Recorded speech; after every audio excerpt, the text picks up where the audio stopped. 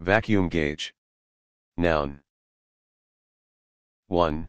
Physics, an instrument that is used to measure very low pressures of gases.